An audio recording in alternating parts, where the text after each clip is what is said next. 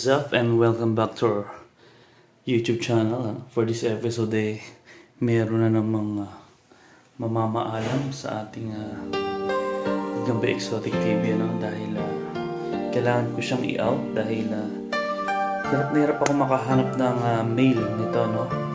Isang ah, rare to no. Medyo rare ang naman ba na to. So, eto. Ito siya. Bali nakuha ko to last month. Bali, ah, medyo makulit to, no? Uh, ano siya kumilos, mabilis, no? So, hindi natin patagalan na. Buksan natin yung ilaw. At uh, kunin na natin siya. Bali, eh, may pinrepair na ako dito na lagayan para sa kanya. Bali, ito yung lagayan na paglalagyan ko. Medyo malapit lang naman yung pagdadala natin sa kanya. Lagyan natin ng konting basahin natin lang. Although malapit lang yung biyahe niya, eh gusto ko pa rin syempre yung uh, humidity, moisture, no?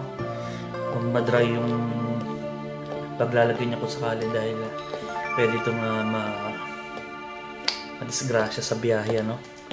Bali, ipapalalamove natin to. So, ayan na. Buksan na natin. Ang isang ito ay medyo may kaliksihan, ano? So, ang kalat nitong paligid ko. So, baka pag nag-bolt to, saan saan, pumasok. So, yun, ayun siya. At ang isang ito guys, eh sobrang ano, no, napakamahiyain niya. Ayun siya, ayun. Mahiyain ang isang ito. Ewan ko kung saan ito nagmana. No? Pero talagang every time na nilalagyan ko siya ng pagkain, eh talagang nagugulat siya, umaalis siya. So, ito siya ilalagay sa lagayan na to. Sana maging okay naman ang lahat. Kung ako lang ano, ayoko tong i-out dahil ah, isa sa mga nagustuhan ko nga to no dahil mahilig siya magsapot. Tapos eh rare nga ang isang ito guys ano. Kaya napakaswerte nung kukuha nito. Lalo na kapag may nakita siyang mail ano. Swerte niya. Kung na-breed niya to, sabi ko sa kanya eh, hihingi na lang ako sa kanya. Sa kanya na lang ako bibili, hindi pala hingi. Alright, takbo na natin. Dahil may kaliksihan ng isang ito. Sablay ako.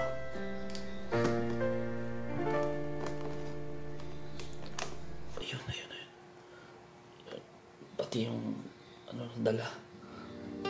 Yung ginawa niyang ano, no? Yung ginawa niyang palo pa dito. So, ayun. Ito na. Ito na siya, guys. Hmm. Sabi sa akin nung nakuha ko nito ay pag nagmamature daw ang mga Biro Peps, no? Biro eh, naglalighten yung kanilang kulay, ano? So, hindi ko lang alam kung anong ano nito.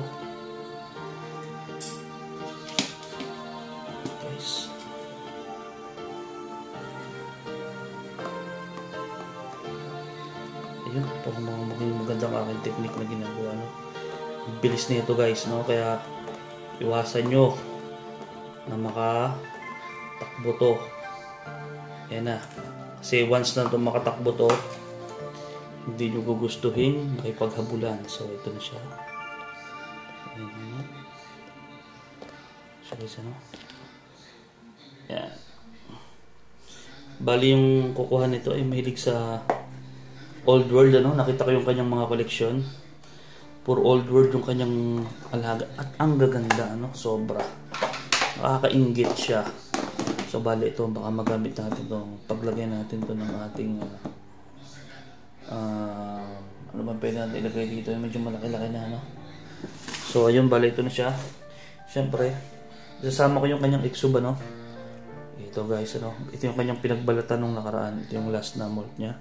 So, sama ko ba? Patong ko lang dyan.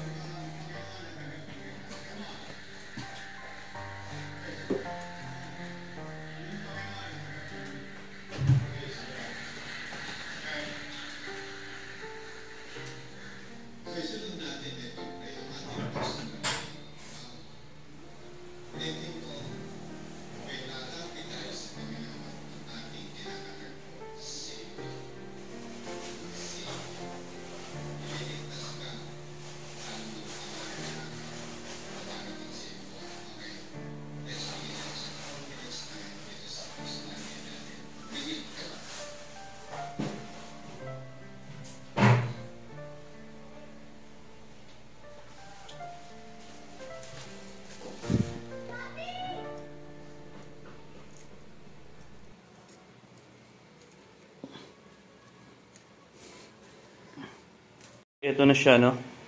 Nantay ko na lang yung lalamove driver para pick upin. So, ito nakuha na ni Kuya, no? Nang lalamove yung ating ah, package. And ilang minuto lang ay dumating na sa kanya at buhay naman. At ito yung kanyang setup, ano? Sobrang ganda. Parang na-miss ko bigla yung ating gagamba.